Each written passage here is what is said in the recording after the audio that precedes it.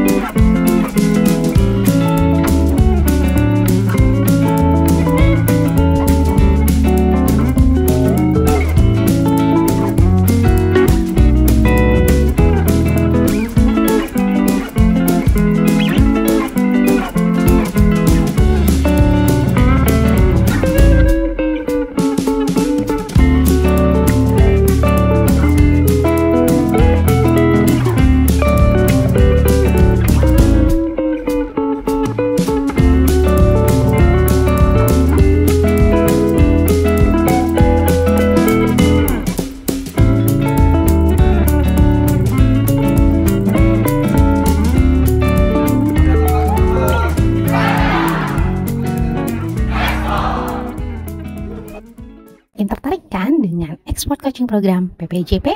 Cek terus infonya di website ppjp.kemendak.go.id